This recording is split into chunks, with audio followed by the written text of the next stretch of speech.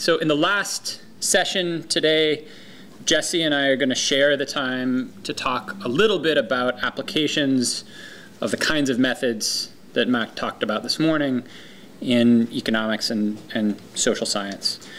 Uh, and and I, the, the key thing to keep in mind, I think, or one of the themes of this is these methods are primarily, in the way they've been developed, in the main kinds of applications, primarily about prediction. They're dimension reduction algorithms for taking some high dimensional data and reducing it to a lower dimension. And those methods have played a relatively small role in economics relative to the role that they've played in statistics and other parts of the world because economics tends to be primarily about causal inference and less about prediction per se. So part of the theme here is just to get a feel for what are the places where currently and potentially in the future those kinds of predictive methods have value. How do people use these kinds of things? Tomorrow is really going to be devoted to the, the methods which are specific to the case where we want to do causal inference, kind of derived from these methods. And so uh, Chris Hansen will talk tomorrow about those kinds of applications. Okay? So I think broadly, when are these data mining kind of methods used in economics? We can think of three categories of applications. The first is cases where prediction per se is what we want to do. So there's, for example, a literature on macroeconomic forecasting. Second is cases where describing the relationships between the x variables and the y variables is what is of interest. So an example is uh, the, the literature on genetics that Matt talked about, where a question of interest is just are there genes that determine a particular behavior? Are there genes that determine a particular characteristic? Which genes are those? Describing those kinds of relationships. Uh, and finally, and this will kind of relate into what we talk about tomorrow, we want to take the high dimensional x, collapse to this lower dimensional z, so we can then use z in some subsequent analysis. Include it as a control variable, look at it as a left-hand side variable, use it as an instrument, and so forth. So what we want to do today is first, I'm going to give you a brief overview of the kinds of data, kinds of large data sets that have been used and the kinds of applications that people have used, not talking in any detail about the specific methods that people have used. That's just a kind of quick overview uh, to, to kind of give you a flavor for people who haven't seen those things. And then we're going to spend some time going into some detail about one specific application, one specific data source, which is text, and ways in which these methods are applied to text and ways that text has been used in social science, in economics. Okay, so I'm going to organize this overview in terms of data sources, examples of high dimensional data uh, that are relevant. So one obvious kind of high dimensional data that people have used is web searches, data from Google in particular on search behavior. So think about all of the searches that are being generated every day. This graph is searches from Google Trends, searches for the phrase big data over time. Uh, and so this data set, typically we're, we're looking at searches grouped in time, time series of searches, or searches grouped geographically. And so you can think of an observation as a, you know, the, the n dimension here is time or time cross geography, and the p dimension, which is really big, is all possible terms that people could search for. So on this day, how many people searched for big data, how many search for other things. Um, this is searches for big data by geography. A lot of people search for that in India, it turns out. So what are the applications potentially of this kind of data and, and predictive methods applied to it? So one example that many of you are probably familiar with is, is Google Flu Trends. Uh, so Google, in partnership with uh, some statisticians, developed a tool to, whose purpose is to predict the outbreak and course of flu epidemics and the location of flu epidemics so that, so that treatment can be uh, targeted and so forth. So it turns out that searches, the frequency of searches for things like sneezing, flu shot, flu medication, this kind of thing, there are a bunch of Google searches that are highly predictive of the outbreak of flu out, of, of, of flu epidemics. And so though the, the CDC measures those things based on getting reports from doctors, those official measurements of, of flu rates have a long lag, and these tend to do much better and can be much faster. More related to economics, there's some recent work by Hal Varian and others looking at predicting, just kind of pure forecasting exercise. Can we predict things like unemployment, retail sales, consumer confidence, et cetera, from searches? And here again, the, the, you know, we measure these things, but we measure them in a very costly way with surveys and other things, so that at best we have a small sample of people that we're using to measure things at a monthly frequency or a quarterly frequency.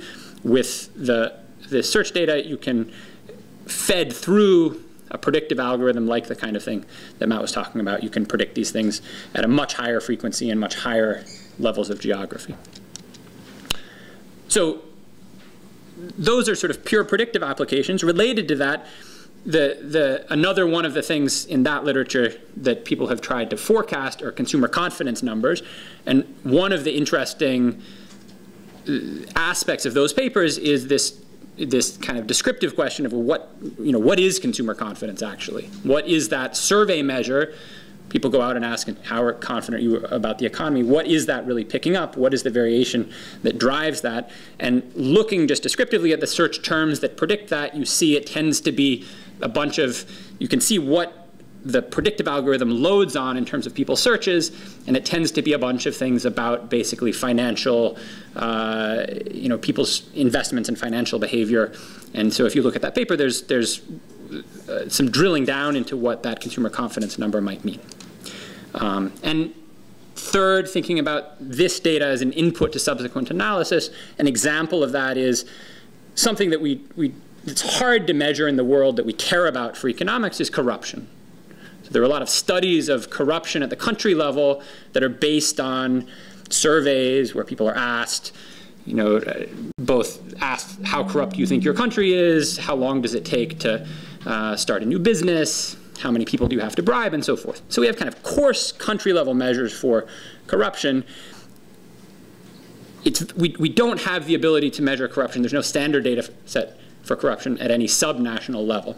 So there's a paper by Saiz and Simonsohn that says, that observes that with search data, basically looking at the frequencies of, frequency of searches for a country's name along with words like corruption, graft, and so forth, you can construct an index which is highly correlated with the survey measures at the country level. So looking at the countries who are often searched alongside the word corruption turn out to be corrupt on the standard measures. You can now apply that same algorithm to cities and look at frequency of searches for city names alongside corruption uh, and construct a variable now where we can measure something we couldn't measure before. So then they go on you, you, could, you could, in that paper, they just stop at measuring that, but you could imagine now going on and using that to ask what are the determinants of corruption at the city level, what are the effects of corruption at the city level. Um, a a, another example of this is this Stephens and Davidowitz paper uh, recently using searches to measure racial animus, kind of predictors, indicators of racism at the local level, and ask whether race had some effect on voting for Obama in the most recent or in the 2008 election. Okay. So Google searches is one sort of data. The second one that Matt talked about is genetic data. I'll go through this quickly because he mentioned it, but this is one of the main places where these high dimensional methods have been uh, developed and applied. The left-hand side here is some physical or behavioral outcome. The right-hand side are all of these SNPs. The data set here is n equals 10,000 and p is you know, something on the order of 2.5 million. So this is a case where you have more variables than you have observations typically, and uh, we want to predict these outcomes. So what are applications of this in, in, in economics?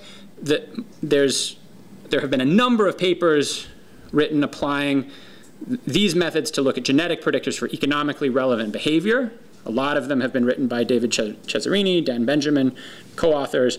So th they look at to what extent are there SNPs that predict things like risk aversion, social preferences, how people make financial decisions, political preferences, entrepreneurship, educational attainment, and so forth. And so I would, I would put the, if you look at these papers, It's largely in this kind of descriptive category. The thing we're really interested in, in some sense, in these papers is, are the, do these things have a genetic basis at all? Are there genetic predictors of them that tells us, that informs us about what, what risk aversion is about, how we might want to model it, and so forth. You could also think about if you then know, if you, if you really can measure these genetic characteristics of people, then using these things as controls in some additional analysis. The interesting point in this literature, which Matt already mentioned, is it, it's, it's, it's a fantastic example of why we need good statistics and good statisticians to tell us how to do this instead of just sort of doing it on our own because the, the, this whole early wave of research, both a number of the papers by economists, but also lots of papers by other people, turn out to be largely false discovery. So there are a huge number of published results saying this intelligence or risk aversion or various behaviors are correlated with this particular gene or that particular gene. And subsequent studies that have tried to replicate those things have shown basically none of them replicate. And if you go back and think about the underlying, out of your 2.5 million genes, what is the likelihood, what share of them have a true causal relationship? Then the p-value that you need to apply to have a reasonable false discovery rate is incredibly low. And so once you sort of do that power calculation, it's not at all surprising that that's what people found. Another kind of large P data set to think about is medical claims. So a lot of people who work in, in the health area have used data from Medicare. Is kind of a standard workhorse data set in health economics. And, and, and the Medicare data is basically claim level data from Medicare. And there's similar claim level data from other insurers, from lots of other sources. So 10 years of Medicare data is big. It's on the order of 100 terabytes of data for all of the claims filed for Medicare over those periods. And it's high dimensional. A, claim, a, a single claim is a function of a patient, a doctor, a hospital, how much was paid, and then in particular, what was the treatment given, which is something which, you know, basically binary indicators for, for many thousands and thousands of kind of treatments. So this is super, super high dimensional data, and the, the, the question is how can we reduce this dimensionality to small set of variables that we can actually apply to models. So one of the data, one of the dimension reduction uh, tasks that has played a big role so far is trying to collapse all of this data into some single dimensional indicator of people's health or predicted spending. And then this is used in lots of ways in lots of papers. So there's the, Medicare produces risk scores based on not sophisticated data mining methods, but a kind of ad hoc criterion, which are which which have some statutory meaning, and so they they, they can't change very fast. But those are uh, basically weighting all of the different treatments you might have had in a particular way to try to predict your subsequent spending uh, and health. There's a Johns Hopkins model, which is much more sophisticated than that. There are lots and lots of these sorts of predictive algorithms applied to trying to trying to predict people's subsequent healthcare spending. Um, and these things, those variables have been used extensively as inputs into subsequent analysis uh, as control variables, as independent variables of interest, as mediators. Uh, so uh, like in this Einav and Finkelstein study, thinking about the risk score as a mediator of which health plan you choose, the health, how does health plan choice differ between healthier people and less healthy people. Um, in Ben Handel's job market paper, he uses this Johns Hopkins score as a measure of people's private information about health. You could see a lot of scope here for improving these, this dimension reduction in these data using more sophisticated methods. Um, very closely related, also in an insurance context, there's credit scoring. Credit scoring is another example of taking high dimensional data on all of people's financial behavior and collapsing it into a single dimensional score. Um, this is used for forecasting. Obviously, banks care about forecasting default risks and credit scores have been used in, as input into lots of analysis. Uh, Jon Levin and Liran Einav have a series of papers where they, they look specifically at the uh, proprietary credit scoring algorithm used by uh, kind of low-end auto dealer and trying to understand how they make money based on having a more sophisticated prediction algorithm than others. This Rajan Seru and Vig paper looks at how using a particular, if, if the market settles on a particular way to reduce dimensionality in deciding, for example, who to give mortgages to, what, to what extent does that cause perverse reactions because people start now loading on the things that enter the model and loading less on things that don't enter the model and deciding who to give a mortgage to or not. Um, online purchases, obviously there's a huge amount of data mining involved at companies like Amazon, Netflix, and eBay. Uh, they want to predict who's going to buy things, who's they should target advertising to, and so forth. Um, and Matt already talked about this a little bit. Net, Netflix had kind of famously a prize where people were invited to contribute algorithms to predict which movies that uh, that people would want to buy using data mining algorithms. And there's this application to congressional roll call votes that, that Matt also talked about in political science, using factor analysis to collapse all of the roll call votes into, into low dimensions and ask questions like, is there really just this left-right party dimension, or are there others? Do the others pop up at particular times? How has polarization, the extent to which Congress is really separated along party lines, changed over time, and so forth? So that's a, a selective tour of the places where these kinds of methods have been applied. And now I want to zoom in and talk in particular about the application to text. So there are lots of data sources that have become available with the advent of the internet and a lot of digital information where the data that we get fundamentally comes in the form of text. There's news text, there's a whole database of Google Books, which includes basically the text of all books ever written, content of web pages, congressional speeches, corporate filings, Twitter, Facebook, and so forth. There are lots of other data sets where the, the, they don't consist exclusively as, of text, but text is a part of what's in the data. So think about looking at eBay listings, they have a lot of metadata, a lot of characteristics, which are numeric, but there's also a description field. And using that description in the analysis is potentially valuable. Um, those medical records we talked about, people tend to just use the coded numeric fields, but if you look at the underlying records that hospitals have, those include lots of free text fields as well, and there's scope for analyzing that text to add something to that analysis. Announcements of central banks, so on and so forth. Okay. So just a few things to say at a kind of high level about text analysis, and then I'm going to turn it over to Jesse to talk about um, some of the, of, of, the specific applications. So all, the first thing to know if you're sort of new to this is that essentially everywhere where text has been used as a data source in economics, people represent text as a vector of counts. A vector of counts of words or a vector of counts of n-grams, which are basically phrases, uh, one or two or three or four words. So we take a document that looks like that, and we represent it as just a vector. How many times did each word occur?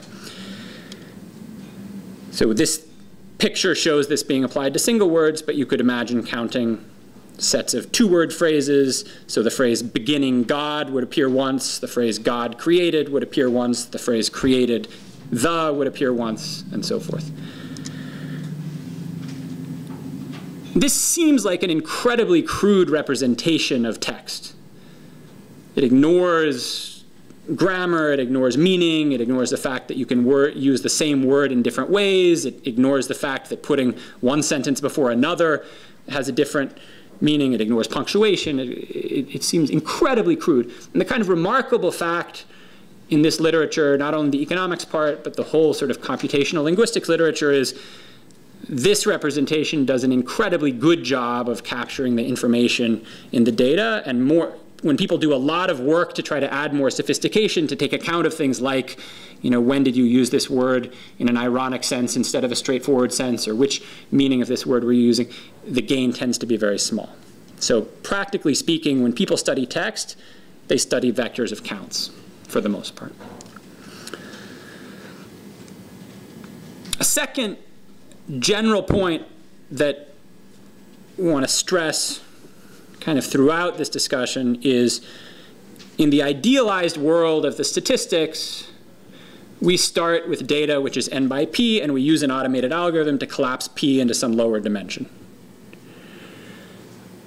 In practice, inevitably, what actually happens is we start with a data set that is n by p, where p is really, really, really big, the set of all variables that we could conceivably use, potentially, and all of their interactions and all of their squared terms and all of their set, set of potential variables is, in practice, incredibly big. We always do some first step of reducing that from you know, 3 million to 3,000 using as a kind of manual step using prior information, and then we apply the automated methods to this kind of collapsed version of the data. So there is, there is the science and there is the art. And there's always, in any paper that you read in this area, there is always a substantial amount of, before we did anything else, we threw away a bunch of stuff because we thought it would be irrelevant, and we threw away a bunch of stuff because it occurred rarely, and we threw away a bunch of stuff because it was too difficult computationally. Uh, and, and so that's important to keep in mind. So in, in the text context, we see, you know, people often drop rare words. There's something called stop words, which are standard lists of incredibly common words, but that also do not have a particularly high ability to discriminate meaning. So things like articles and conjunctions that uh, we think are not really going to tell you somebody's ideology, whether they use the a lot or not. Um, but they cost your computer a lot of time because they occur, all, they occur frequently. There's something called stemming, which means combining things like economics, economic, and economically into one single word because we know those basically have the same meaning. If you scrape data from the web, you might want to drop all of the HTML because that's not that relevant and so forth. So you know, the point to stress is just this is manual steps based on people's priors, and that there's always a back and forth between that and the automated part. Um, it's also worth noting that thus far in economics, the vast majority of work using text doesn't use any automated dimension reduction at all. So, so most of what people have, have done is we start with all of the possible words that could occur, and we just select a subset of them, a very small subset of them, that we're going to use as an index of the thing that we're trying to measure.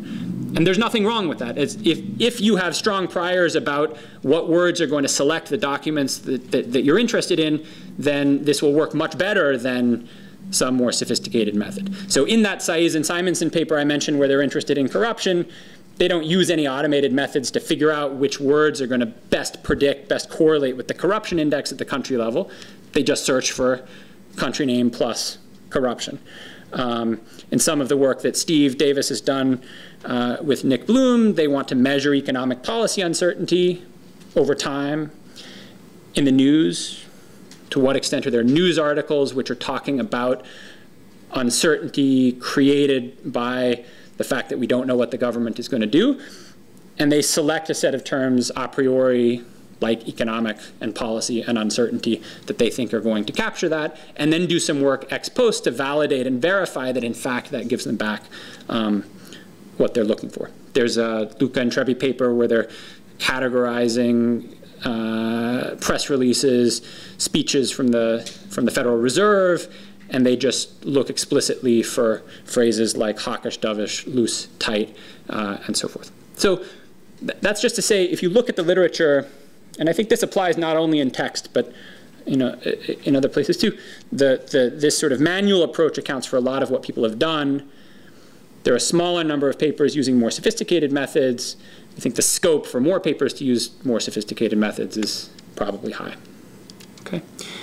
And the final thing I'll say, and then I'll hand it over to Jesse, another just detail of the practical implementation of this that becomes very important when you're thinking about text is the, the representations that Matt talked about all begin from there's this matrix n by k of data x, and you have that.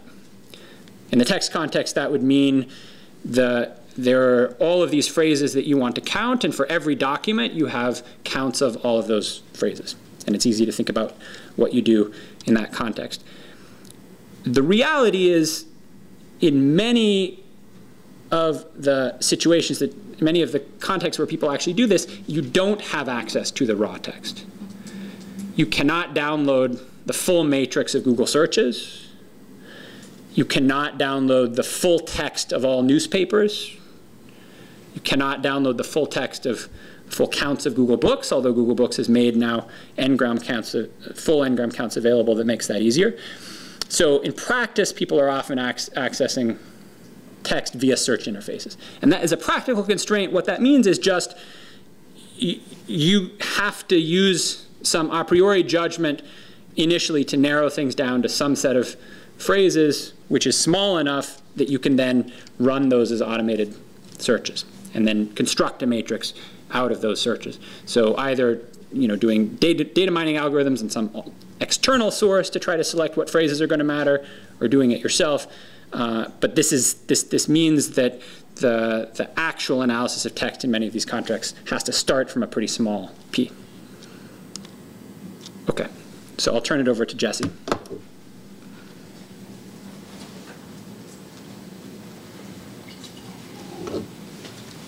Okay, so the first set of applications uh, that we'll talk about to using text as data all fall under the umbrella of what some people call sentiment analysis. Okay, and this is going to look familiar from, uh, from some of the stuff that Taddy was talking about earlier. The basic template and sentiment analysis works like this. We have some outcome we care about, y. We have a set of features, x. And then we have data. Usually we divide it into n objects we'll call training data. And then an n plus first object we'll call the target. So we're going to have n cases where we know both x and y.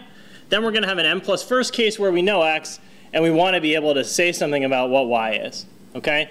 And the classic example where actually a lot of this was developed is the context of your spam filter. Okay? How does a spam filter work? Okay? Basically, you start with a training set of some number of emails. Each email is classified by some human as either spam or what's called in the industry ham, which is the opposite of spam. That's an email you want. And humans go, th go through any of these cases and classify emails as either emails that should be passed through to the user or emails that should be blocked by a filter. Okay? And so after we see these n training cases, some machine is going to have to make a decision for the n plus first case when that email shows up about whether to deliver that to the user or filter it. Okay? And that's your classic kind of sentiment analysis uh, situation. Okay? And this raises a bunch of issues that we're going to need to use some combination of judgment and modeling to tackle. Okay? First set of issues basically boil down to what set of things do we include as features. So if we're building a spam filter, what do we use? Do we use counts of all the different words in the emails? Do we use counts of all the characters? Do we use the complete binary representation of the email to be really agnostic so that X is just one of any number of possible you know, binary uh, uh, stored emails that could come through? And then conditional on the set of features we're going to pick, we're going to have to face the issue that Taddy started with today, which is how are we going to avoid overfitting and finding a really good way to predict what's spam or what's ham in these end training sets, in these end training emails that doesn't do a good job at all of predicting once we go outside the training set. There's over a million words, depending on exactly who you ask, in the English language. And if you took an ASCII file with 100 printable characters and said, what are all the possible such ASCII files? There are 95 to the 100th of those. So being totally agnostic and just putting them on a regression model is obviously useless. You're going to have to find some way to reduce the dimensionality of this problem that's just intrinsic to this problem. And that's why this problem's been such a good motivation for uh, uh, so much of the literature in machine learning on this subject. Okay, and so today I'll talk about two applications of this kind of uh, approach. I'm going to talk about uh, using this approach to estimate the partisanship of the news media, where we're going to turn millions of words or phrases into a unidimensional index of media slant or bias. I'll talk about some applications in financial news, where we're going to take data from news or chat room discussions and classify them as, for example, positive or negative, or being in disagreement versus being in agreement. And then tomorrow, Victor and Christian are going to talk about estimating causal effects, taking a really, really big data set and collapsing it down into a low dimensional control for endogeneity, where actually a lot of the conceptual issues are the same as what you come up with, what you confront in your spam filter. Okay, but we're going to use them in a different way. Okay, so partisanship in the news media. So there are a bunch of, this is a case where there's a social science question or set of social science questions like how centrist are the news media? Are the news media to the left or to the right of, say, the typical American? Or what are the economic factors? Like is it the preferences of owners like Rupert Murdoch? Or is it the preferences of consumers like the people who watch Fox News that ultimately determine how Fox News spins the news? Okay? And these are social science questions. These are questions that are not about prediction or machine learning or dimensionality reduction. These are fundamentally just questions about the causal structure of a variable of interest. The problem is just taking, taking Fox News and turning it into a single dimensional index that tells you where Fox News is on some left-right spectrum is non-trivial. Okay? Taking, we need to take all of the different phrases or images or whatever are the features we care about on, uh, uh, on Fox News or in the Wall Street Journal or in the New York Times and turn that into a number that we know how to do social science with. Okay? And so there's basically going to be two issues that come up in doing this. One is how are we going to construct our training set? That is, how are we going to get a set of documents whose partisanship we can consider known to the researcher? Okay, are we going to have research assistants go through and classify documents? Are we going to run surveys of individuals asking them to rate documents or rate news outlets or what? And then we're going to confront this issue of dimensionality. What features are we going to look at? Are we going to use the images or the captions of the images or phrases or words or whatever? And how are we going to have a model that's parsimonious? Takes those millions of phrases and throws away most of them to find where the strongest signal is. So Groseclose, and Milyo, which is a very important paper in this area, solve both of these problems in a creative way. Okay, they use as their training set the US Congress. What they observe is well, for people in Congress, based on the kinds of roll call vote methods that Taddy talked about, we already think we know their ideology. That is, we think we can array them pretty well on a scale from left to right. Okay, we obviously know their political party, so that's a start, and we can probably do even better than that. So we can easily assign a scalar ideology score to members of Congress based on roll call voting. Let's call that Y. Okay, and we can use that ideology score to construct our training set. Because if we can find the features of congressional speech that are predictive of a congressperson's ideology, we can apply those, that same logic to the news media and identify features that we can use to, to array news outlets on a left-right spectrum. Okay? The next thing that they have to do creatively is address the problem of dimensionality. They can't use all the words and have some giant regression model. So what they do going back to what Matt said, is they reduce dimension by hand. Okay, they basically say, well, let's find a feature that's probably used in congressional text and is also used in the news media that we think is probably diagnostic of the speaker's ideology. And what they do is they look at think tanks, which are cited by members of Congress in their floor speeches, and are also cited by news outlets as authoritative sources on issues. And they say, well, think tanks, because we know that some think tanks are to the right of other think tanks, citations to think tanks are going to be a good indicator of the ideology of the citer. Okay, if I tend to cite the Heritage Foundation a lot, that probably makes me more right-wing than somebody who's citing, I don't know, the ACLU a lot or, or people for the ethical treatment of animals. Okay, so they're using an ex-ante criterion to reduce dimensionality. So what do they actually do? Because one of the things I wanted to do is highlight just the practical details of how this actually gets done. Okay, so what they do is they go, or they have a research assistant go to the searchable index of the congressional record online, okay, which is freely available, of course, anybody can do this, and they execute searches for the names of different think tanks, like the Brookings Institution. Okay, so they will search for all instances of the phrase Brookings Institution, and then they'll go and figure out who's referencing them. Okay, so the congressional record, just to take a step back, that's a transcript of everything that was said in the floor of the House and Senate in the US, plus a little bit of other stuff. Okay, so here's an example of what might come up if you search for Brookings Institution in the 105th Congress. Here's a speech by Dorgan from North Dakota saying a study by a tax expert at the Brookings Institution says if you have a national sales tax, the rates would probably be over 30%. Okay, so Dorgan is using Brookings Institution as an authority, and that goes into their data set. Plop, drop that down to your data set. Now you have one hit to think tank Brookings Institution by Speaker Dorgan. Okay? And they go into exact, the exact same procedure with an online index of news media text and count references to these same think tanks in the news media. Okay? Then they need a modeling framework to turn these think tank counts into a number. And so what they do is they take an ideology score for every member of Congress. It's called the ADA score, and it goes from zero, most right wing, to 100, most left wing. The source of the data is not that important for our purposes.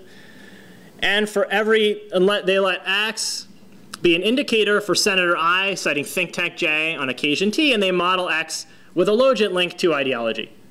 Okay? So every think tank J is going to have an overall popularity alpha, okay, which is going to index how often in general it's going to be spoken. And then it's going to have a kind of ideology weight beta, which tells me how much more often is this think tank cited by people who are more uh, uh, left wing according to this ADA score. Okay, so beta is going to tell me kind of the ideological weight of the think tank. Then they're going to assume the exact same modeling structure is applicable to the news media, and they're going to estimate the alpha for every think tank, the beta for every think tank, and the y for every outlet in their data set of news media using maximum likelihood. Okay. No penalization necessary because they've already reduced the dimensionality of the data significantly. In fact, they go further than reducing it to the number of think tanks because some think tanks are used rarely. They group uh, uh, about 150 of them into six groups, so they end up with 44 think tanks and six groups of similar think tanks, which I think they call mega think tanks. Okay, so they have about n about 500 some observations, members of Congress, less those who uh, never cite a think tank. And then they have a dimension p, which is about 50, so the number of think tanks that they include. Okay, and so from here they just do unpenalized maximum likelihood because the dimensionality is, is kind of small enough to make that method credible. Okay, and what do they find? So these are the uh, ADA scores. Remember, higher score is more liberal. These are the ADA scores for some senators. Okay? And so you have John McCain, who's to the right of Arlen Specter, to the right of Joe Lieberman. And then these are the ADA scores that they estimate for news outlets. Okay, and so here's the ADA score for Fox News. It looks like it's somewhere between John McCain and Arlen Specter. And the New York Times looks like Joe Lieberman. Okay, this is a plot of a bunch of their data. Okay, and uh, uh, what we're doing here is plotting the ADA score from high to low. We've arrayed it so that uh, uh high scores go on the left to uh, uh, align with the usual left-right notion of the political axis in the US. And so the Washington Times, which is a very Republican outlet or a very right-wing outlet, is all the way on the right here. But the other thing that they emphasize about their data is that these news outlets are all clustered to the left of the Congress people. So one of their main, from a social science standpoint, one of the main conclusions that they argue in this paper is that the news media are uh, centered to the left of the average member of Congress. Okay, and that's a major social scientific conclusion that they uh, uh, uh that they reach in the paper. Okay. Uh, yeah, let me pause and take a question. Yeah, question. So, I wonder, whether the use of fish tax is the same between Congress persons and media. For example, might use a fish tax imposter. Right. Right.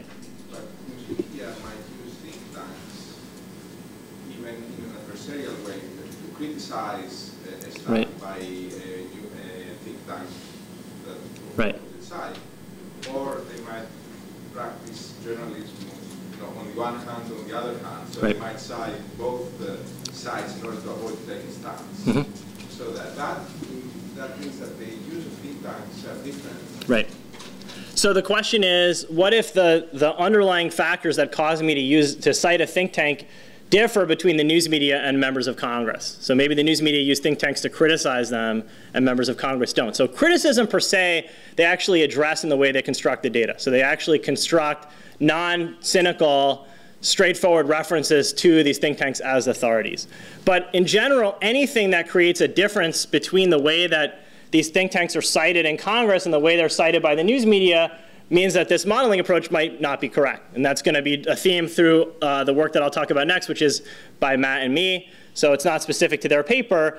You're using the Congress as a training set, and so that's only valid if the same DGP applies, the same data generating process applies to your training set as your target. If that's not true, then this approach is no longer going to have the nice properties you'd like it to have. So it's important for what they're doing and what I'll show you we, we did that this same data generating process is applicable to both members of Congress citing think tanks and outlets in the news media citing think tanks. So that's a good question. Okay, and so to continue a little bit the story and show you a different cut at the same basic problem, we were interested also in constructing a, an index of the partisanship of news media.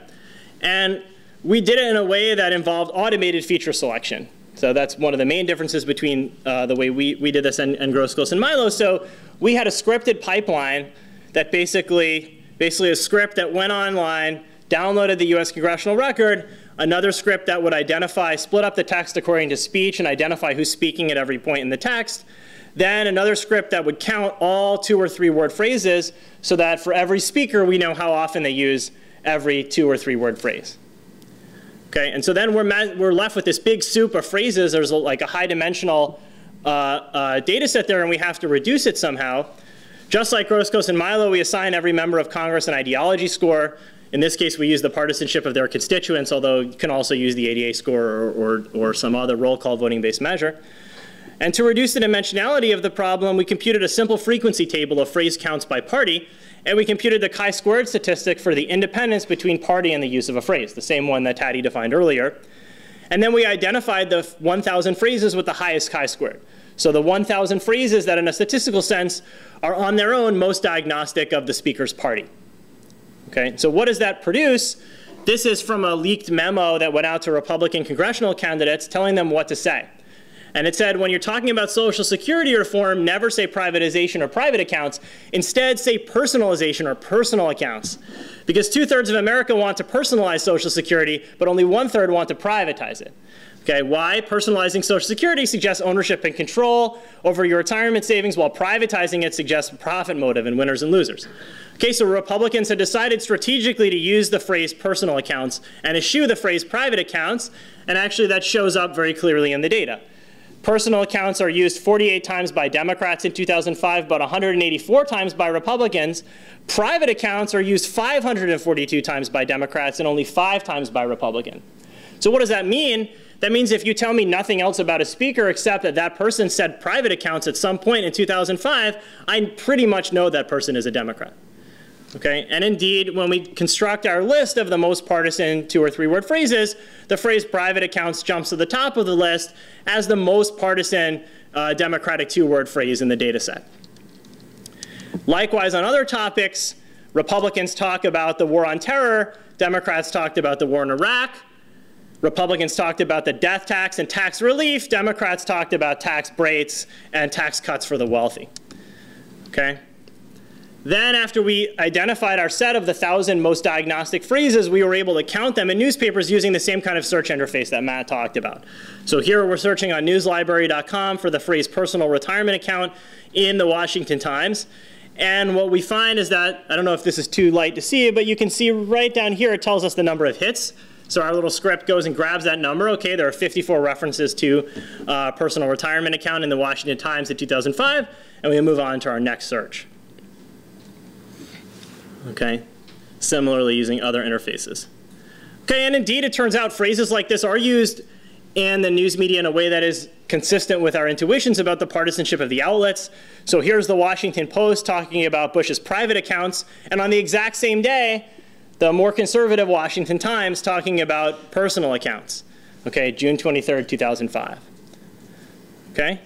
So then, just like Groseclose and Milyo, we write down a model, in this case a linear model, that relates how often I use a given phrase to my ideology. And we can estimate the intercept and the slope in that model using data from the Congress, where we know the speaker's ideology, and then apply the same model to infer the ideology of newspapers. This kind of linear model is called marginal regression, sometimes also known as the first partial least squares direction. We didn't know any of that when we did this, but now, thanks to Taddy, we do know. Um, so this is a, a, a you know well-known procedure that's that's been out there for a while. It's basically just a way to construct a linear index of your x's that hits your tries to hit your y as best as possible. And so when we do that, we get an index which we call the slant index, which arrays newspapers from left to right. And we went and tried to validate that against other sources. So here's uh, the scatter plot of our slant index against survey results from a website called the Mondo Times, where users went online and rated news outlets as conservative or liberal, and there's some positive correlation there. And that raises a good question, which is, once you do something like this, how do you know if it's working? Okay, how do you know if it's if it's doing what you want it to do? Obviously, for Congress, the answer to that question is easy in some sense. We can go and do out of sample validation to see if it's working, getting us what we want for members of Congress. Is it doing a good job of predicting, say, their roll call voting? Okay, but for news outlets, we don't have an analog of their roll call vote. So we have to come up with other ways to try to see whether what we're getting makes sense. Okay, one way is what I showed you, which is look for external sources that have rated news outlets. Another way is to look at the lexical content of the phrases themselves and say, do these phrases actually seem to correspond to partisan or ideological issues the way I'd like? Just like with any research, you want to do sensitivity analysis, change how you're measuring your Y, or uh, change the set of phrases that are into your X and make sure you're not seeing explosive sensitivity to small changes in your design. Look for agreement across different sources. So we had a couple different sources for news text, and we went and checked that they were basically giving us similar, very highly correlated results. And then, of course, the last thing you definitely want to spend some time doing is looking at the newspapers. So look at the text, surrounding the uses of these phrases that you're finding as highly diagnostic and see whether they're being used in the way that you think or whether personal accounts or retirement or private accounts are being used in some totally apolitical how-to or self-help context. So way back in the back of our published paper is an audit of a whole bunch of uh, search results where we had people go through by hand and, and classify them. Okay. And now that we have a measure, I won't spend most of my time today on the social science, but just to highlight that these data are not there for them for just to sit there, but they're there to go and test social science hypotheses. Now that we have a measure that tells us for each news outlet to what extent is it slanting the news to the right or to the left, we can go test economic hypotheses. Okay? We can use it to model newspaper ideology and ask questions like, what are the economic factors that drive whether a given news outlet slants the news to the right or slants the news to the left. Okay, and we can try to assess questions like to what extent are news outlets responding to their consumers or to what extent is their ideology associated with the political affiliations of their owners and what have you. Okay, so let me give you one example of a, a somewhat substantive result from the paper, which is that uh, the slant index is very positively correlated with the political orientation of the news outlet's audience. So if I'm in a Republican market, I cover the news in a more Republican way. Okay, so this is the y-axis here is purely based on text. The x-axis here is based on voting in presidential elections, and indeed there is a positive correlation. Now, I don't want to belabor this, but I just want to pause to mention that we need to keep our social science hats on throughout this exercise. So the fact that we use some dimensionality reduction method to get this number doesn't tell us that we don't have to worry about all of our favorite things to worry about when we look at correlations like this. Like maybe there's reverse causality. Maybe it's the news outlet's coverage of the news that's changing how people vote. Or maybe slant is actually a proxy for some other attribute of the newspaper, like the extent to which it's picking, it's, it's covering business topics rather than sports topics. And maybe that's also correlated with how people vote in the news outlet's market. And so we're seeing here has nothing to do with politics. It's just a proxy for some third thing. Or maybe, maybe an even deeper problem is slant itself is a proxy for other attributes of the market, okay, it's like geography. So what do I mean by that? Well, what we're showing here is that in places that vote more Republican, the news, newspapers use more Republican sounding language, okay? But that could mean a lot of different things. For example, these are data on where uh, in the US different phrases are used as generics for soft drinks. Okay, and in the part of the country that I'm originally from, we correctly refer to that as soda. In the part of the country where I now live, I have to order it under the name pop. And there's also places in the United States where I have not lived where it's referred to as a Coke, even if it actually isn't made by Coca-Cola, which is by far the strangest. Okay? And if we were to construct a naive slant index and say, well, which, which members of Congress say Coke and which members of Congress say soda, we might find, wow, the, the slant index is very correlated with other measures of congressional ideology because people from the people representing constituencies in the South are going to be more Republican, and it's very correlated with uh, the ideology of the uh, uh, uh, of the home market when we look at news outlets' use of the phrase of the word soda versus Coke. So we might conclude that there's a tremendous correspondence between how a news outlet spins the news to the left and to the right. Uh, and how its audience uh, would like to see the news spun, but that might be totally spurious. It might just be a geographic confound. Okay? So we want to be very aware of the soda versus pop kind of confound. and worry about it the same way we would worry about in any kind of social science endeavor, control carefully for geography when we relate slant to other economic variables. And also, um, and this is something that's actually very easy to do with the kinds of methods that Taddy's developed, which I'll talk about in a couple minutes, we could incorporate geography directly into our predictive model. So when we're doing our dimensionality reduction, rather than trying to predict, say, roll call votes, we could try to predict a component of roll call votes that's orthogonal to region, or orthogonal to division, or orthogonal to regions that correspond to linguistic divisions in the US, and try to orthogonalize from the get-go with respect to those factors to try to isolate the part of the partisanship variation that's really what we want. Okay, so same tactics we'd use in other kinds of social science applications.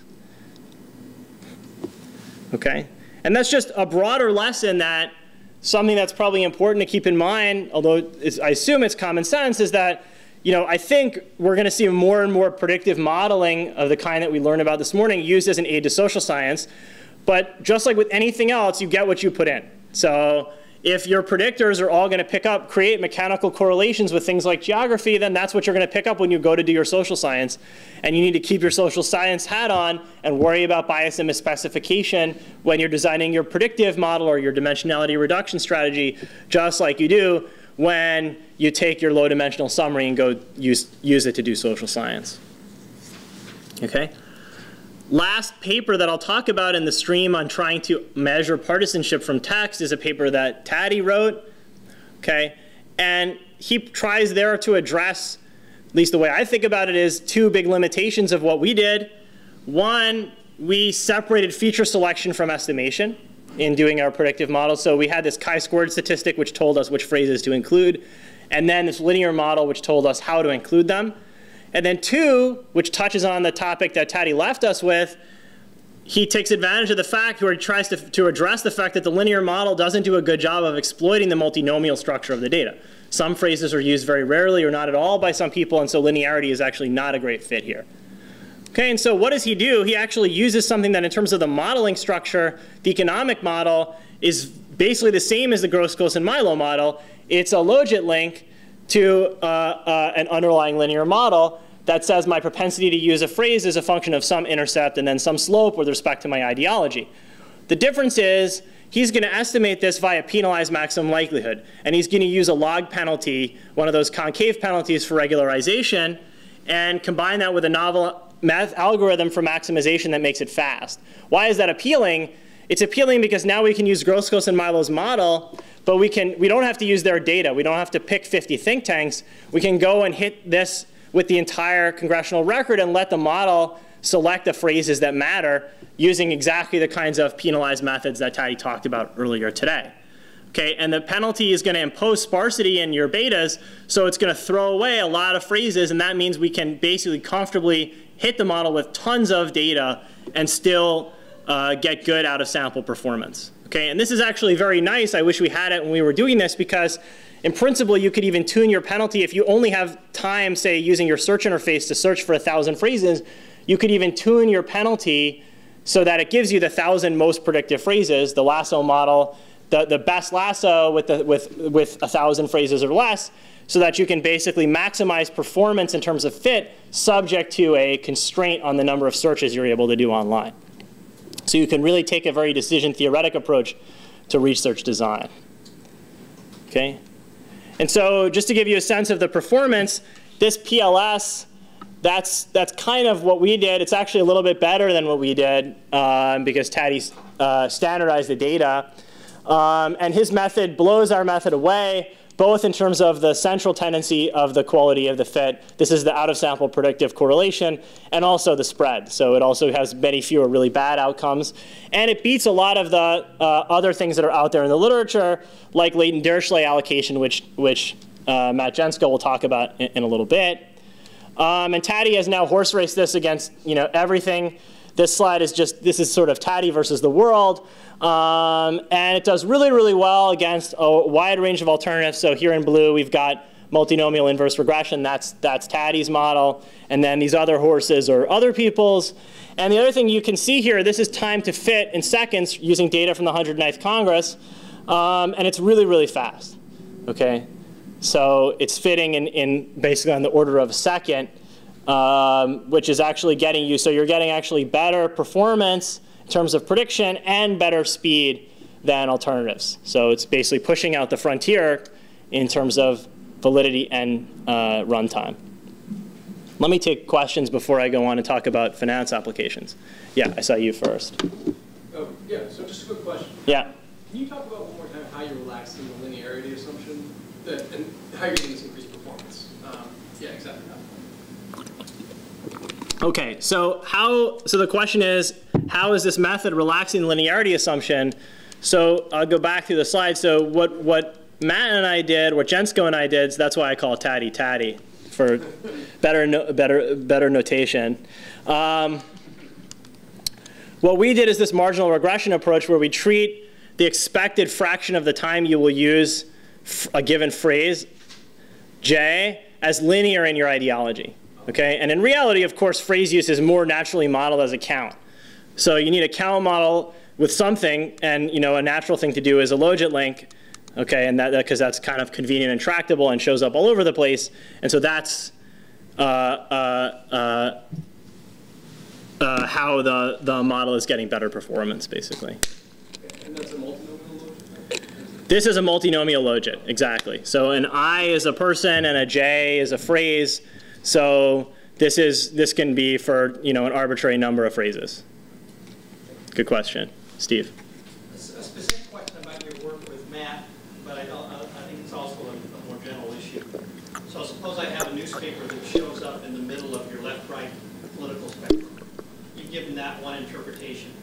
Another possible interpretation is, though that editors, some editors are slant seeking and some are slant pointing. And so they're either in the middle because they are using a balanced mix of these two loaded words, like the ones, you know, privatization versus personalization, or they are um, deliberately avoiding these loaded words and finding some other term. Right. So the, the generic issue is when you're collapsing something which is fundamentally two-dimensional in my discussion to one dimension. So I, that seems different than the issues you've discussed so far. Or maybe I'm missing something.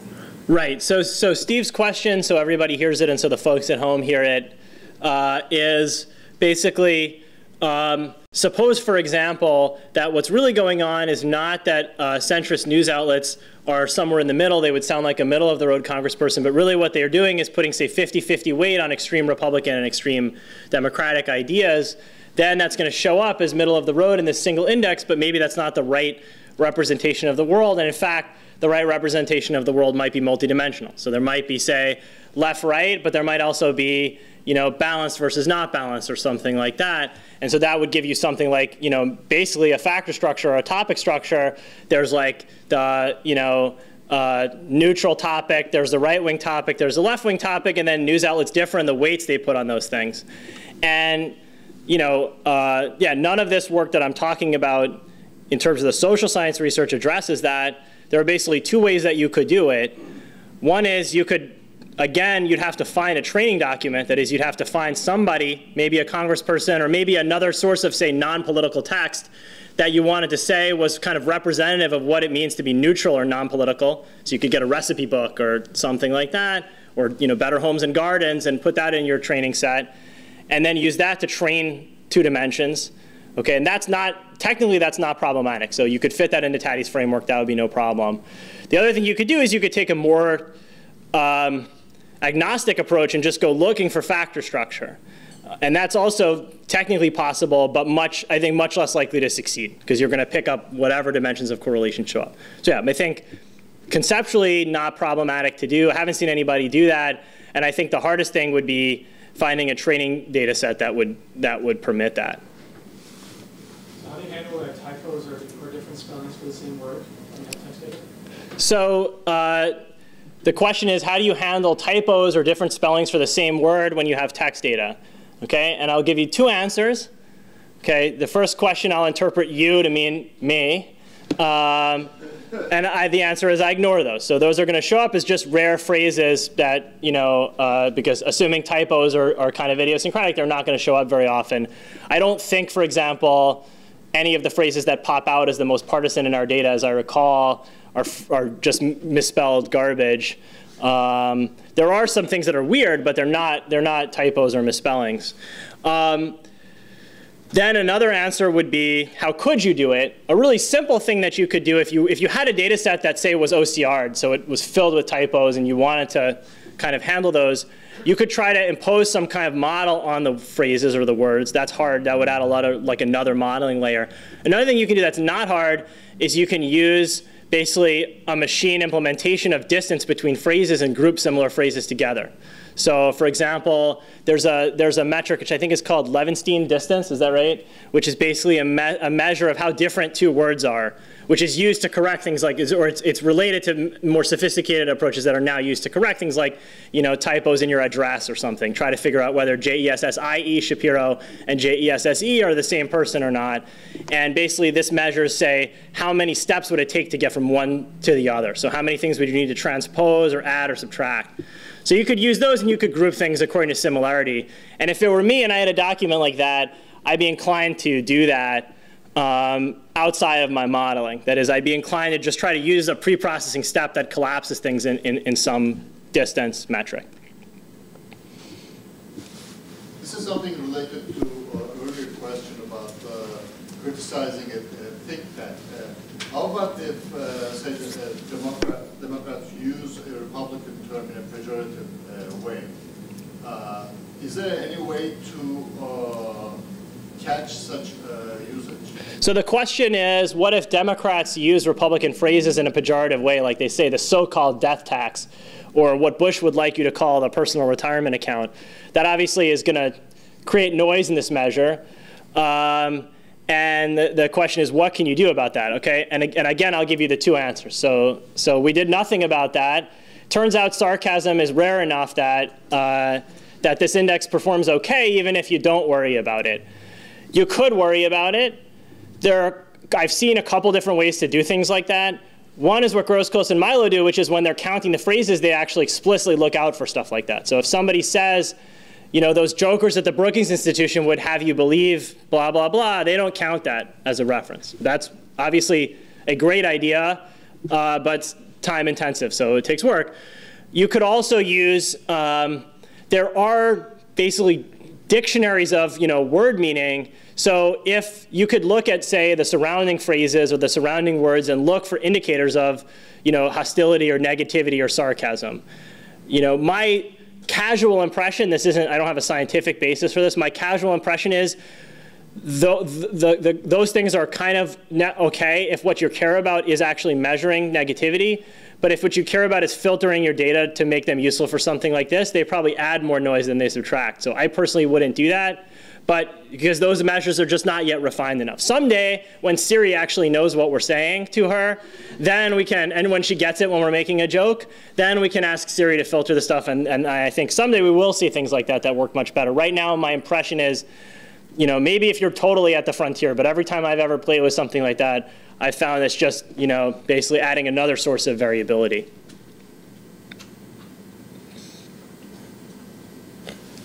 Okay, and that's actually a good segue um, into analysis of financial news because actually some of these sentiment issues, literal sentiment, positive, negative, and so on, are big, uh, in big play there. Okay, so here it's very easy to motivate the social science questions. Uh, doesn't take any work the way maybe it does with uh, politics and the news media.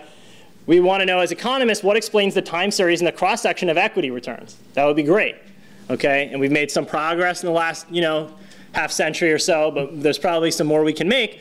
And in particular, maybe a narrower question is, we see the market move a lot. It moves in response to things that are not captured in quantitative fundamentals that are in CompuStat, like earnings. What is going on? What is the information out there? And one place people have gone to look is textual data, like the news media. A very nice paper by Paul Tetlock counts all words used in the Wall Street Journal's abreast of the market column, okay, which is kind of a column talking about you know, what's going on in the markets these days. And he counts words to construct his feature set. He counts how often words show up that are bundled in each of 77 semantic categories by what's called the Harvard 4 General Inquirer. Okay, so it's, it's Harvard branded, so you know it must be awesome. And so this this categorizes words into things like weak or positive or negative. So weak words are things like abandon, abandonment, abdicate. Okay, so if like, I don't know, if a CEO or stock is abdicating something that's bad, that's, that's indicating negative sentiment. And then Paul creates three regressors from these 77 categories. One, just a count of weak words, abandon, abandonment. One, a count of negative words, which is an aggregation of a few categories that are not good. And then uh, one that is the first principal component of the 77 categories, which he calls pessimism. So that tends to be loading on negative things. So it's a different way to aggregate the phrases or the words. Here, Paul's deciding which categories are negative. Here, a principal components analysis is deciding which categories basically get collapsed down into a single dimension and how. And he finds that negative sentiment in the abreast of the market column predicts at least short-run negative movements in uh, aggregate equity returns. Okay, Antweiler and Frank do something related a little bit more like our spam filtering example, they have data from, the, uh, from message boards on Yahoo Finance and Raging Bull. So here's somebody saying that this, this, this whatever the security is, is going to do very badly. Okay? And they have millions of these kinds of uh, chat room discussions or millions of these exchanges, and they need to turn them into some number. So what they do is they count all the words that are used, and then they create a training set of a thousand of them, which they classify as buy, sell, or hold.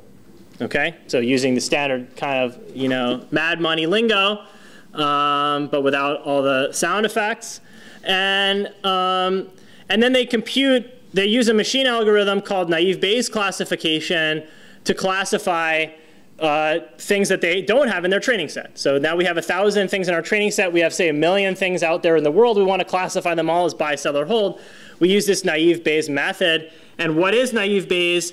It's just my posterior guess of which of the three categories you belong to under some naive assumption that the words are independent, which of course is not true. You couldn't write down a coherent model of words in which they would be literally independent in the statistical sense. But this, this uh, procedure actually turns out to do okay in practice. People have used it a lot in lots of applications. Um, and so, you know, it does okay on their training set.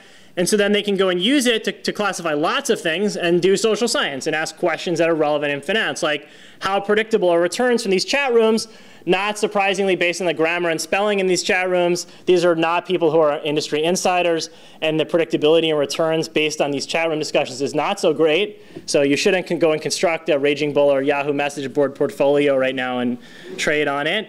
But they are pretty predictive of volatility, and an interesting uh, angle is they use them to construct a measure of disagreement. To what extent are the recommendations differing a lot across people? And that actually turns out to predict volume, which is interesting to them because there's an existing body of economic theory that predicts such a relationship. And so they can use this as a test when usually measuring things like disagreement among investors is quite difficult. So here's a way to assess that in an automated way from a rich data source. Okay, there are lots of other examples in finance and accounting. There's a paper by Lee that uses this exact same naive Bayes kind of method to measure the sentiment of forward-looking statements in 10Qs and, and 10Ks. Hanley and Hoberg use a cosine distance metric, which is basically just asking how similar are all the X's to measure revisions to IPO prospectuses. And then both of these papers don't just stop there. They go on to test meaningful social science questions using the scores they construct with these methods. Okay? Any more questions before I turn it over to Matt Gentzkow? Okay, all yours. Okay, so the last of these text applications we wanted to talk about are topic models, returning to something that Matt mentioned right at the end of his discussion earlier this afternoon. So to remind you one of the distinctions that he made was between supervised and unsupervised methods. Supervised methods where we're reducing dimension, choosing x's that give us the most predictive power for some outcome variable y. Unsupervised methods where there is no y, there's only x, and we're looking for the low dimensional representation which captures as much of the variation x as possible. That's PCA factor models uh, and related methods. And so topic models fall into that unsupervised category, typically. Um, so there uh, lots of examples of applications of, of dimension reduction in general. The congressional roll call votes into common space scores is one we talked about. An important one in psychology is, is the literature on personality in psychology is largely based on, on factor models where you give people some long questionnaire that asks them lots of questions about how they behave and how they feel and what, what they do, and then do some kind of principal components analysis. And there's something called the big five factors in psychology, which basically says most variation in people and how they answer, you know, are you the life of the party or do you like to sit in the corner and do you, you know, like playing with your kids or not like playing with your kids? If you ask people a thousand questions like that, most of the variation is captured by these five dimensions and those five dimensions then play a big role in uh, a lot of analysis in psychology. So continuing with the theme here, in social science, the, the, the, those measures are not the goal themselves, but they're then inputs into subsequent social science analysis. We can ask, as we said, how has polarization in Congress changed over time? There's a paper, whole literature actually asking how these personality measures are related to performance in different jobs, because if you're hiring people for jobs, you might want to use them as, as, as a potential uh, way to select job candidates. And topic models, as Matt said, extend basically factor type methods to multinomial data taking advantage of that functional form or, or uh, using a model which is specific to that functional form so it can handle the fact that there are a lot of zeros. So in what contexts is it useful to think about collapsing high dimensional text data into topics, into a low dimensional set of these factors as opposed to using it to predict stock returns or something else? We might want to know what are people talking about on social networks in some general sense, what products are similar on Amazon or eBay. This is actually a huge problem for like, like a, a big thing that eBay spends a lot of time thinking about is how can we group things together, kind of, we have a million different products. We want to be able to show people things that are similar. How do you do that? What stories are in the news today. So if you go to Google News and search for something, Google News will show you, or just go to the homepage of Google News, they show you a bunch of news topics and then associated news stories from lots of different sources. So it'll say there was a train crash in Paris, and then you can read the New York Times story about that, or the Wall Street Journal story about that, or the uh, Le Monde story about that, whatever you want. That's based on a topic model algorithm whose goal is to say, start with the million news stories we see today and group the ones that are similar and, and on, on, with the goal of grouping together things that are about the same underlying news event. Um, we might ask if you take the text of economics journals, what are the topics that economists are studying? How has that changed over time? How is it related to their characteristics, et cetera? So as with everything, this is most interesting as an input into subsequent analysis. You could imagine studying, for example, how the, the weights on different topics in Twitter predict stock movements, which products are close substitutes for the kind of goals that eBay has. In, in the context of our uh, paper that Jesse talked about, something which we have long wanted to do and never succeeded in, in doing well despite working on it for a while, is you know, that slant index is, is really a combination of two things. They're synonym pairs like death tax and estate tax. And so the slant index picks up when you talk about death slash estate taxes, which term do you choose? But it also picks up a lot of what do you talk about. So words related to poor people and unemployment, words related to African Americans, a whole bunch of topics that are really associated with Democrats and then things related to foreign policy, things related to finance. There are a whole bunch of topics that are associated with Republicans, and our slant index, because of the way it's constructed, captures both of those. So a newspaper that we classify as right wing could be a newspaper that, when it talks about taxes, says death tax, but could also be a newspaper that spends a lot of time talking about foreign policy. And you might like to decompose those things and say, let's separate which topics does a congressperson talk about or a newspaper talk about from when you talk about foreign policy, which terms do you use? That would be a natural application of topic modeling. You could ask how the distribution of topics in economics has changed over time. I think a, a, characterization of the very small literature in social science that applies topic modeling is it hasn't really gotten much beyond the descriptive measurement stage. So this application into subsequent analysis, I'm not going to talk much about because people haven't really done that yet. topic models have still largely been applied as a in, in that kind of descriptive mode, the second category I talked about earlier. Um, so I want to walk you through two papers that apply topic models to, uh, to text of interest to social science. The first is a paper by Blei and Lafferty from 2006, which is based on the text of Science magazine. So they're basically trying to say, can we use an automated method to throw in all of the text of all of the articles published in Science magazine from 1880 to 2002 and group them together to, to, to determine what are the underlying topics uh, and ask questions about them. So practically, what, do, what are they doing? They start with the full OCR text of science from 1880 to 2002, which they get from JSTOR. Notice this is a case where they're not working through a search interface. They have the full text on their computer. That's important. I said, as you'll recall, that there's always a manual step of dimension reduction before the automated step of dimension reduction. So here they first of all, only look at words that are used 25 or more times. So they throw out all of the words that are used more rarely than that. They remove stop words. Remember, those are things like the and uh that occur very frequently based on just a standard list. So when people say they drop stop words, that means I just I took a list, somebody else came up with a stop words, and I dropped those. And they did this thing called stemming, which combines economists and economist into the same word. That leaves them at the end of the day with a P. The wide dimension of the data is 15,955 words. And the N in the data, the total number of articles, is about 30,000. Right? So this is a case where uh, uh, you know, P is not bigger than N, but, but it's still pretty big.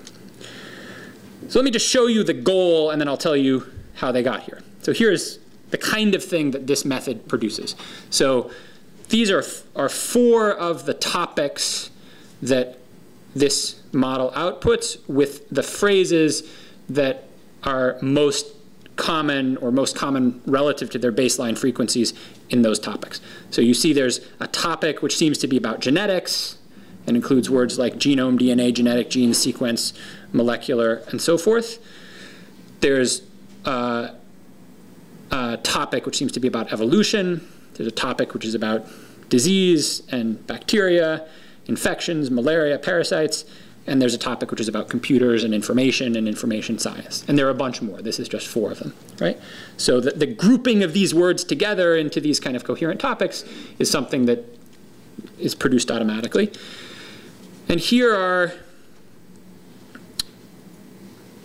time series of the frequency of different words within particular topics. So you might say, if I look at articles in science about theoretical physics, how have the composition of theoretical physics articles in Science magazine changed? And this picture shows you, well, you know, theoretical physics used to involve a lot of talk about force. Recently, it involves a lot of talk about lasers. Sometime in the middle, people talked about relativity, but that's not so interesting anymore. Nobody cares about relativity now. Um, and you could do the same thing here for neuroscience. So nerves used to be a big uh, thing before people knew, I guess, that they were called neurons when they're in your brain. Um, that's changed. Oxygen was a big thing in the 60s. not, not so much anymore. So this is the, this is the goal. So how, how do we get, how do we get to, to this kind of thing and uh, tell you more about what those pictures really are. Um, so the model in this paper, which was was developed by David Blei and co-authors is what's called latent Dirichlet allocation. I think both Matt and Jesse mentioned that in, in, in their discussions. Um, and this is really the, the, first big step in, in taking these factor type models and applying them to discrete data. So the setup is N here is documents. Think of articles in Science Magazine. P here is words. The data for an individual document I is a 1 by p vector of word counts. This is this bag of word representation uh, that we talked about. Okay, And so the, the, a factor model, not a topic model, but just the kind of vanilla linear factor model, you will recall, says the expectation of x is a linear function of factors. I'm using slightly different notation here, but uh, so theta ik is the value of the kth factor for document i, and then beta k is a vector of loadings that says in factor k, how uh, much to each of these p components, what is the expected value of each of these p components. So LDA transforms that into this multinomial model. We're now going to call the value of the factors the weight on the kth topic, and we're going to call the loadings the word probabilities associated with topic k, and now xi is distributed multinomial with probabilities determined by this linear function. Okay, and just to just to remind you, theta ik here is a scalar that says how much of document i is about theoretical physics, how much of document i is about uh, neuroscience, how much of document i is about computers. And beta is in topic k, say theoretical physics, what are the frequencies of each word, or what is the probability of saying each word. So beta k, which is a 1 by p vector, is going to have high values for things like relativity in the theoretical physics topic, and have low values for things like relativity in the neuroscience topic.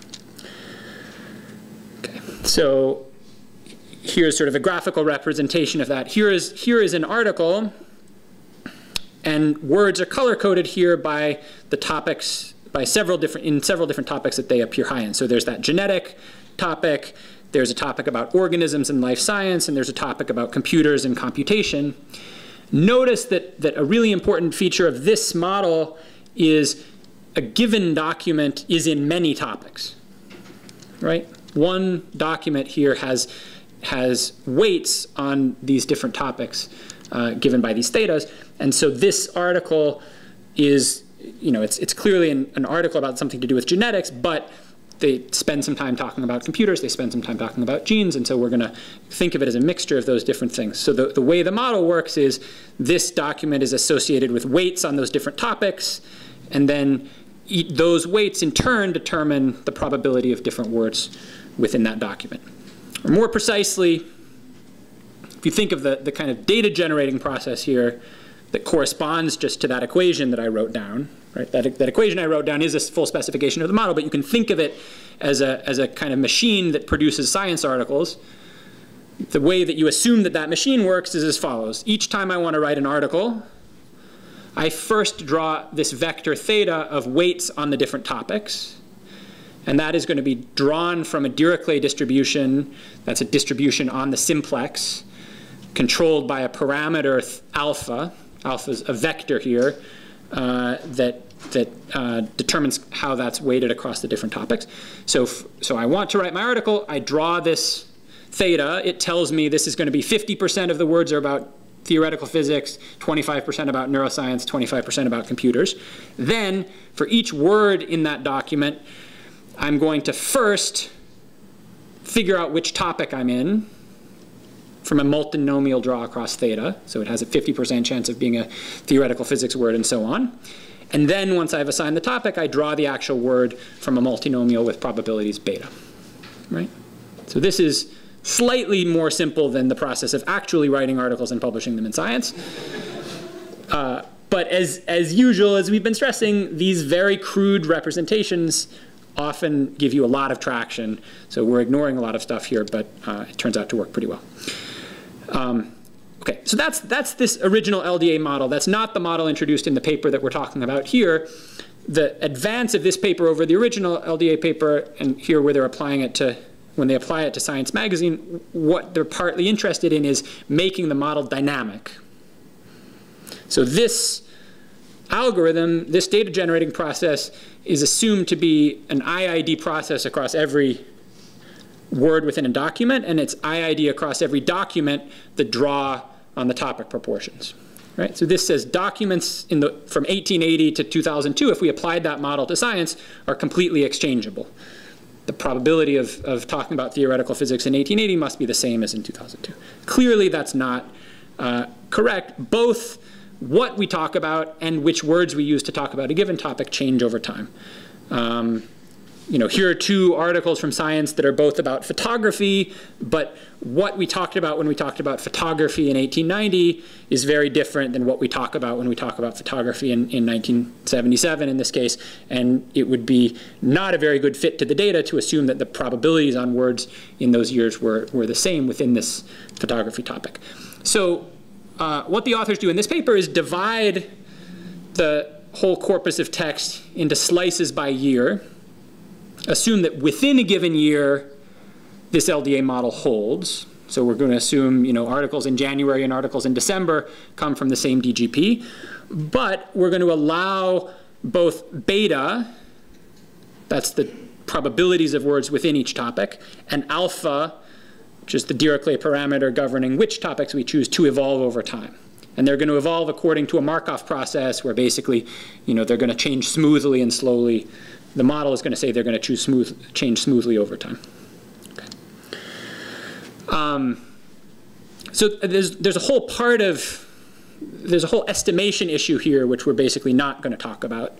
Um, so, you know, Bayesian inference for this model is hard using uh, what I would have to my very limited knowledge of this stuff, thought of as kind of standard methods. Blei, in this paper that we're talking about, uses something called variational inference, which I can tell you I completely do not understand at all.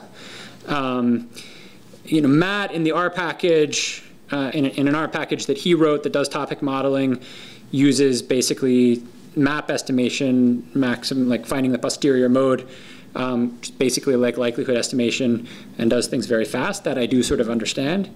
Um, and there's something Matt tells me called stochastic gradient descent, which is even better, which is how people today estimate these things. So uh, in any case, if you actually estimate topic models, you, you need to worry about this a little bit. Um, but the estimates that these guys use come from a model with 20 topics. How did they choose 20 topics? I think they tried 15, they tried 20, they tried 25, they looked at it, 20 looked pretty good. Um, and that, that as, as a parenthesis, I think there's another theme in all of the stuff that we're doing, which we haven't really talked about, which is th there are a tremendous number of kind of tuning parameters and decisions and choices and places where the, the researcher has discretion in implementing any of these kinds of methods. And just as with all of the methods you guys are familiar with, you know if you want to get something to be significant and you're allowed to play around with all different control variables and all different estimation methods and so forth, you know, you, you have a lot of ability to do that. The same thing applies here. How many topics in a topic model is an example of that? That's one of these things where there's not any real theory that grounds, or there is some theory, but you know, there's, there's, there's not a, a it's not completely obvious what would be the right metric for choosing that, and in practice, researchers exercise a lot of discretion. And that's true, I think, of any of these models we're talking about. Once you really understand them, you'll see there are a lot of knobs that are turned, and as a consumer of this kind of research, it's important to know what those are. Okay, so I showed you this. These are four of the topics. Now, you know, which words are chosen to list within each topic are based on the betas. They're the ones that have the highest betas relative to their overall frequency. These are those pictures I showed you before, which now, what are these plotting? These are the beta loadings on these different words in a given topic over time, right? So because we have that Markov process, it's well defined within the model what is the topic in 2000 which corresponds to a given topic in 1880. Those things are linked over time. And so we can ask both what is the, the how are the proportions of theoretical physics and neuroscience changing, and how are the frequency of these words. Notice that the model does not provide labels like theoretical physics and neuroscience. Right? The model just provides lists of words. This is the authors who have said, well, this thing that has words like force, laser, and relativity seems to be about theoretical physics. So a couple of other results from the paper to kind of illustrate the things that you can do. So here is watching a particular topic evolve over time. So there was a topic in 1880 that included words like electric, machine, power, engine, steam, machines, iron, battery, wire. You can kind of picture what that's about. And you can, you can watch that evolve over time. So in, you know, in the 1930s, we start talking about tubes, glass, air, mercury, laboratory pressure. Uh, and by the time we're in 2000, we're talking about, in this topic, which is about machines and manufacturing, we're talking about materials, light, silicon, and so forth. So you can, you can watch this evolution of a given topic over time in which words are important. You can also ask, if I pick an article from 1880, here's an article called The Brain of the Orang. I think that's a kind of monkey. Uh, you can ask, what is the article in some later year that is most similar to it? So what is, you know, can, can I find a, a more recent article that looks similar in the loading on the different topics? So this histogram with no labels is the topic loadings for the brain of the orang across these 20 topics. And here is the article in 1976 that is most close to the brain of the orang in terms of its topic loadings. And it turns out to be something that's also about brains of monkeys. Okay. So again, as I said, none of this is quite getting to applying these measures then to go on and ask causal questions about social science, right? We're stopping here at description, but it's pretty interesting description, and it's turning this completely unstructured text of Science Magazine into something descriptively that tells us a lot about how is science changing, how are the topics changing, what are people studying, what's important, and so forth. Okay. So the last, the second of these, the last thing we'll talk about today before we break uh, for the day is another paper on topic modeling in text by Kevin Quinn and co-authors from 2010. This, like the work on partisan speech that Jesse talked about, uses text from the congressional record. Okay? But here we're not going to apply it to newspapers. What is talked about in Congress per se is going to be the subject. So the authors used the full text of speeches in the US Senate from 1995 to 2004. That's the raw data. They, like us, have all of the raw data on their computer, so they're not doing searches. So they can, they can do this. You can't do topic modeling if you have to work through a search interface, right? It doesn't work. They, too, have to do some manual steps, choose to do some manual steps to reduce dimension at the beginning. So they only include words that appear in at least half a percent of all speeches. And that, and they stem, they don't drop stop words. That leaves them with 3,807 words in 118,000 documents, where a document here is a speech by a congressperson. Okay? And so what are they trying to do? They want to ask what are what is Congress debating? What are the words that are important in different topics and how are those changing over time?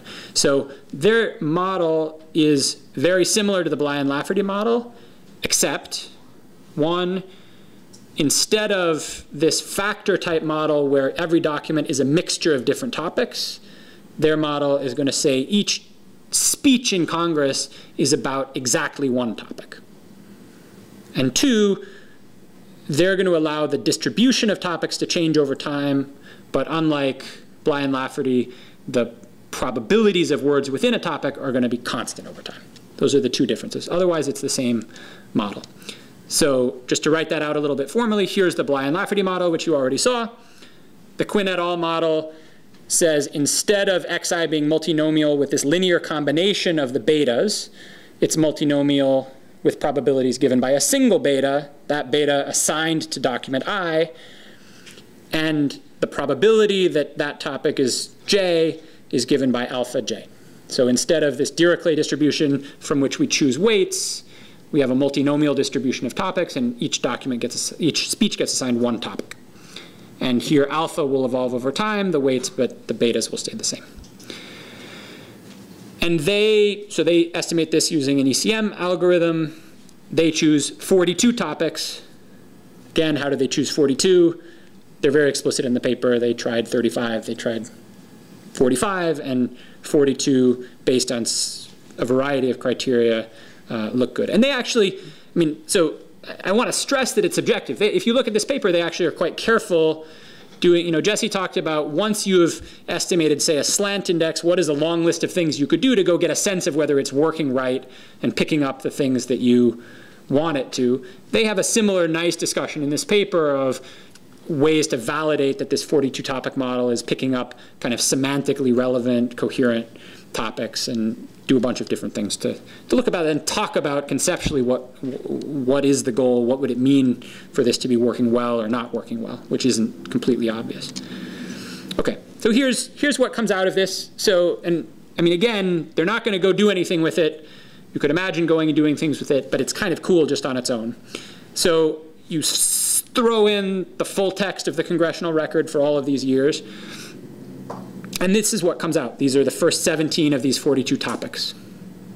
So there's a topic which they give the label judicial nominations to, and it is associated with words like nominee, confirm, nominate, circuit, hear, court, judge, judicial, case, vacancy. Notice that the funny spellings in these keys comes from that stemming algorithm, right? That's why suffixes are dropped and stuff because they're doing stemming. I'm not, I said that Blei and Lafferty do stemming, and I realized that in those lists of words I showed you, they're not stemmed. So that may mean that, that I was wrong about that, or it may mean that they just rewrote them for clarity. Um, so there's a topic about constitutional things, there's a topic about campaign finance, there's a topic about abortion. You know, these labels are just their labels, but if you look at the actual words, they look coherent, they look like they're picking up the kind of words that we would have assigned, and they're returning the kind of topics that we would have thought, you know, we might ourselves divide Congress into. Um, and one of, you know, they're not the first people to try to assign topics to bills and to, and to congressional debates. So one of the validation things they do is compare these to uh, some of those previous measures. Okay, so once you have that, once you've divided all speeches in Congress into, remember now, every speech is associated with one topic, and you have that, the weights on those topics evolving over time, day to day, you can ask, how has what it, Congress is talking about changed over the 1997 to 2004 period? So this is uh, uh, time series of the frequency of like the total number of words allocated to topics, uh, the total number of speeches in the defense use of force category. That's one of their topics. Right? This is number of speeches summed based on their number of words, so the y-axis is number of words. So you see this kind of spiky picture that basically says usually Congress is not talking about defense, but sometimes it talks about it a lot.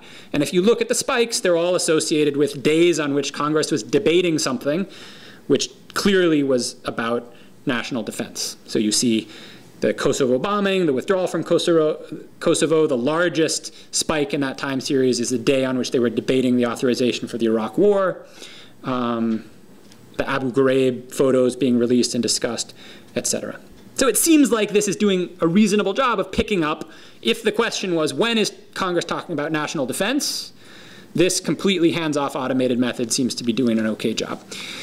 Another one of the topics that comes out uh, is oh, another set of topics that come, comes out are sort of symbolic bills. This is sort of like the way Matt said if you look at internet browsing data, it turns out the most important thing is porn. Kind of by analogy here in Congress, you think that they're debating national defense and abortion and all these things, but mostly what they're spending their time doing is voting on, you know, we commend the firefighters of such and such town for putting out a fire. Um, so one of those, so, so in, if you look at the topics, those things show up really big, symbolic, remembrance type topics. And here's the one for remembering military heroes. What are the spikes in that over time? There's one when there was a shooting at the, at the Capitol in DC. And then interestingly, you see the anniversaries of 9 11. The day after 9 11 is the biggest spike. So 9 12 2001. Then the first anniversary of 9 11 in 2002 is almost as big. The second anniversary is a bit smaller. The third anniversary is even smaller. You see our symbolic discussion of 9 11 on its anniversaries declining over time. Um, and finally, the last thing I'll show you from their paper. Um, this is a little bit hard to read, but I hope you can see. So another thing you can do with these estimated topics is to try to organize them into a hierarchy that shows which topics are more and less related to each other.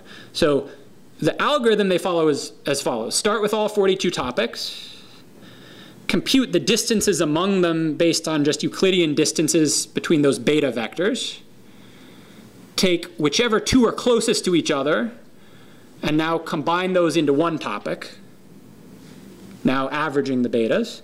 You now have 41 topics, repeat. Now you have 40, repeat, now you have 39, and so forth. And, you, and as you've done that, keeping track of what you combined when, that implies a picture like this. Right? And the organization seems conceptually pretty coherent. The, the highest level division, the biggest difference, if you, if you had to sort of draw one line through the space of topics, it separates a bunch of topics that are basically about procedural language, shall we vote on this bill? I yield the remainder of my time, so on and so forth from everything else. That's, in addition to symbolic stuff, that's the other thing Congress spends a lot of time talking about is procedure. Then you have divisions. The symbolic thing is like the next big group, and then you have everything else, which is actual bills and policy, which is divided at a pretty high level into domestic versus international. And then you have, you know, you can go down I didn't show you all the way down the hierarchy. But so this, this all seems like it's pretty, it's descriptive. The question is just what does Congress seem to be talking about and how are things related? But it corresponds, the automated, completely hands-off, uh, no, no human intervention approach is giving us something pretty close to what we might have come up with ourselves. Okay? So that's the last thing I have to say about those applications. Let me take questions if people have any questions about that. Yeah. So it sounds a bit like more like discriminatory analysis than factorial analysis. Is this considered still within the methodology of factorial analysis, or is considered a hybrid? And then a, hy a hybrid with what was the? Uh, factorial analysis and discriminatory analysis in the sense that it seems that we are trying instead of reducing the number of variables to uh, observations. I mean, I know it's not exactly that, but it has a, a ring to it with this other body of, of uh, dimensionality reduction uh, methodology of, of uh, discriminatory analysis, like portfolio classification would be an application of discriminatory analysis. So right. is, is it considered a, a hybrid? And related to that, if you know, or, or I, am not familiar with the literature, but is, is uh, this uh, like methodology used uh, uh, as, a, as an input in, in analysis? For example, with control analysis, uh, they have mentioned that we can uh, help with uh, multiple linearity. So for example, if we can group observations, maybe we can uh, help to have better focused uh, fixed effects in, in the analysis if we have better defined groups. There's something like that going on in the applications. Um, okay, so the question, the first question was, is it right to describe these models as most closely related to factor analysis or are they more related to discriminatory models or kind of clustering type algorithms like you might use uh, in other cases? Let me give you what I think is the answer to that question, and then Taddy can correct me if I'm wrong, which is I, I think, I think that the, the way you would most commonly use the terminology is to say that the LDA model and its variants are in the same family as factor models because you have this linear structure, and so each document is a linear combination of a bunch of factors. And the Quinn et al. model, where we say this is, uh, we're now going to assign each document to a unique topic or unique cluster, is in the same family as algorithms like k-means clusters and other clustering type algorithms. Is that dead on says our expert. Um, Okay. And then your second question was, could these kinds of methods be applied to uh, kind of clustering type algorithms be applied to group observations together in some causal analysis in order to include fixed effects? Uh, and I'm, I mean, I think, I think that that is an interesting idea of the kind of place that you might uh, do this kind of thing. I'm not aware of specific applications that do that, but that seems like, like in the spirit of the, the ways that you might take something like this. Uh, and you know, certainly, certainly, if you if you think about you know, if, if characteristics of the congressional speeches are on the left-hand side, and what people are talking about is something you want to control for, then it would be natural to include fixed effects for which topic you think it's in according to the Quinn model here as an example. Other questions? Uh, yeah. So a quick question on this model. So what's the distribution of the beta parameter in the past? In, in, what is the distribution of the beta parameter in the, in, in the LDA model? Well, in the, in the LDA model, the beta parameter is fixed. In this, in this dynamic version, so the, remember LDA, the original model is the static one-shot version of that. Um, in the Blei-and-Lafferty model, where it's dynamic, the, roughly the way to think about it is they actually, the, the parameter in their model is not actually beta, because beta here is something that needs to sum to one. It's weights, but they, they transform that basically using a logit. So there's a parameter, think of now a parameter defined on the real line, a vector that's, that, that has domain on the real line, and then the probability or the weight on a given word, the probability of a given word is a logit function of that. And then those parameters that are now defined on the real line evolve by something like an AR1 process. That's the, so we can we should look back at the paper to get the exact details right, but that's roughly, it's a little bit harder to write down a natural Markov process for this thing on the simplex evolving over time. It's easy to write down something like an AR1 process for just uh, variables on the real line, so that's what they do, and then they transform it back. Other questions? Yeah. So with these types of multimodal models, it seems to me that with these topics, they seem very related. The independence, the IIA assumption, the independence of another alternative assumption, is probably quite violated. Is this a problem, or am I misunderstanding? Or is it not? I, I, to be honest, I don't have. Well, so, so first of all, I don't think there's an independence of irrelevant alternatives assumption. He, the, I mean, the, uh, sorry, yeah. So the question was, in these kinds of topic models, is the independence assumption a problem? It seems likely to be violated, and is, does the fact that it's violated, but we're assuming it's true, uh, cause problems? Yeah? I, yeah, I, I guess what I mean, I'm talking, I'm talking about like the red bus, blue bus problem, where you can have two topics. Okay. Yeah. Yeah, I mean, I'm not sure, so in this, uh, yeah, I don't, I mean, we don't have the, the logit formula written up. Um, yeah, I'm, I'm not sure, and maybe we should talk about this. I'm not sure that there is really an analog of the red bus, blue bus problem here. We're assuming independence of words across across words within a document and a documents within a day. And that is clearly independence which is violated in the data. Uh, and I, th I think that's another example of course model ends up working pretty well in practice. The fact that, that we're modeling these things as, uh, you know, going back, we wrote it up. Um, you know, the fact that we're modeling these as logit probabilities, is, there's just a transformation. I don't see, but we could talk about it. Sure. Any other questions? Okay, so let me just conclude by telling you. So today, to remind you of the sort of division, today we talked about what are basically predictive models, applications of those models. Tomorrow, Chris Hansen, Victor Chernozhukov will talk about high dimensional data in a context where you're specifically interested in estimating causal effects. So basically, how do I do, we've been talking about selecting variables, for example, in order to get the best predictor of y.